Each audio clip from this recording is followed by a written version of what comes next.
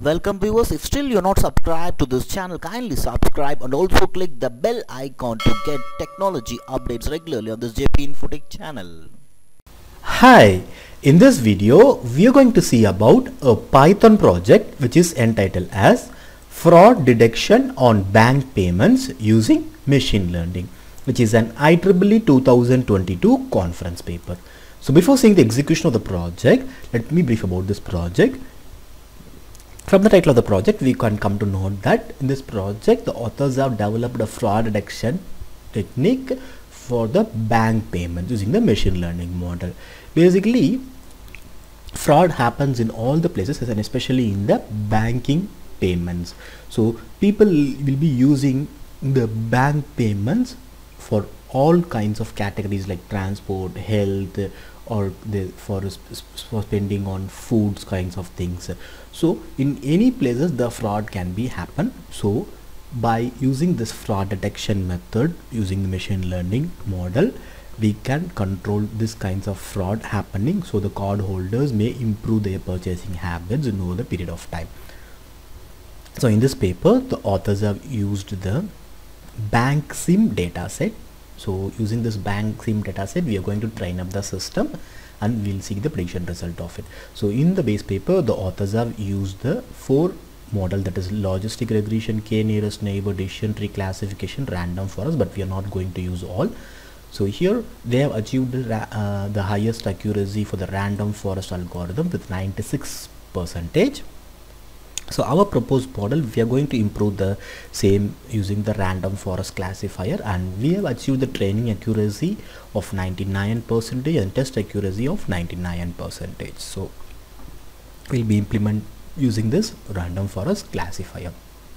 And before that let me show you the Banksim dataset. So this dataset consists of the features of id step customer age gender zip code ori merchant zip merchant category amount and fraud class that is 0 or 1 so here you can see the category as i mentioned that is uh, the transport food home wellness and beauty. So these kinds of things are available. So just if you scroll down the, the data set you can see the data set which consists of around 10,278 data set records of it. So we are going to use this Banksim data set to train up our system so before execution make sure that you fulfill the requirement that is mentioned in the requirements folder with the exact version of the python and the libraries installed on it. So just copy the source code location go to your command prompt and type python dot python app dot py and click enter and kindly wait for few seconds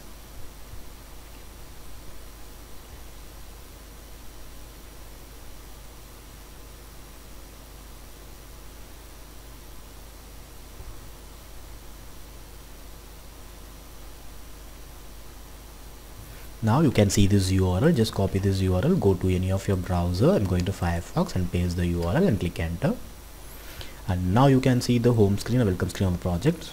Sorry this is not aligned correctly. So just clear your history page. So just go to the history tab and clear the recent history. I'll be clearing the recent history of last one hour.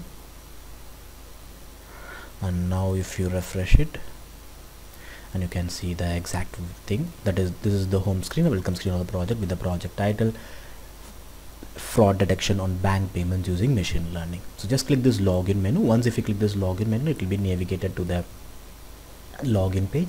And kindly note that this is a static login page because, because you are not used any database in the project. So just enter the default username and password as admin and admin. And then click the login button and once the login is successful you can see the login success message and click ok. Now it will be navigated to the upload part where you need to upload the data set that you're going to train up with. So just click this browse button. Now go to the project folder where you can find the upload.csv file. Just select it and then click upload button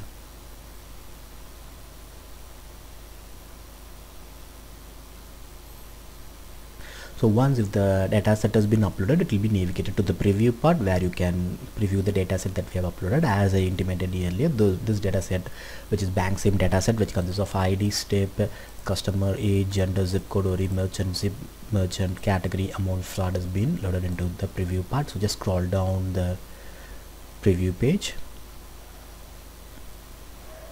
till the end of the page you can see the complete data set has been loaded into the preview part which consists of around 10,278 data set records. Now click the click to train or test button.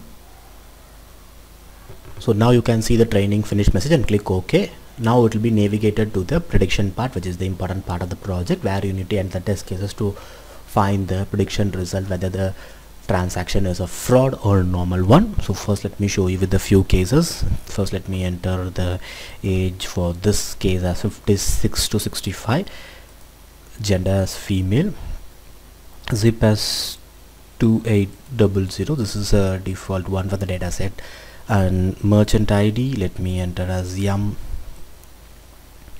980 657 600 and category is ES sports and toys category and the amount that is spent is 626.3 and let us find the prediction result for this by clicking the predict button. So now you can see the predicted result is transaction fraudulent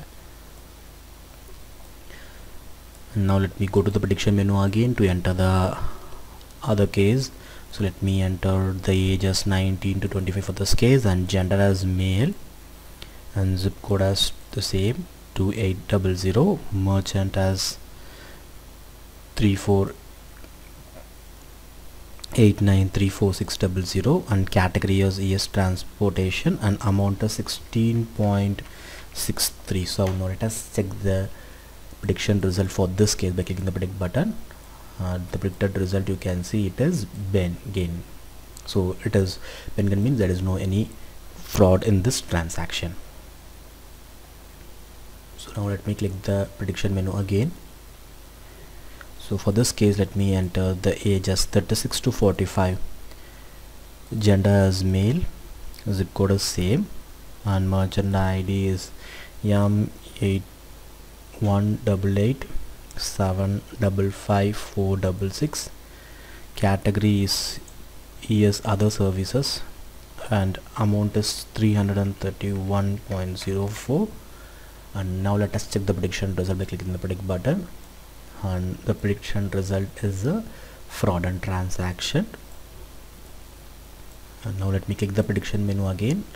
For the final case let me show you final case with the age of 36 to 45 gender as female zip code as the same merchant as yum 85 975013 category this time let me go for es food and amount is 31.16 and now let us check the prediction result for this case. By clicking the predict button and you can find the prediction result is a normal one there is no any transaction that is being classified as benign and in this way you can check with the other dataset record that you are trained up with for the train test data. And I have shown you uh, two things from the normal and fraud transaction as a scenario.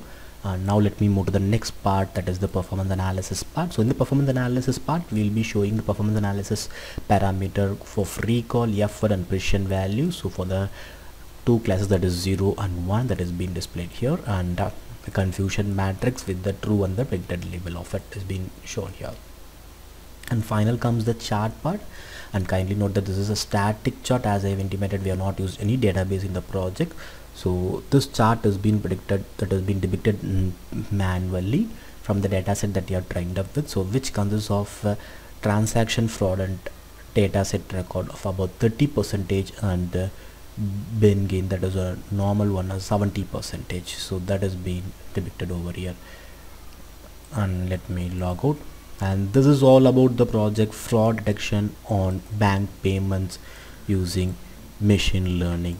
And thank you all for watching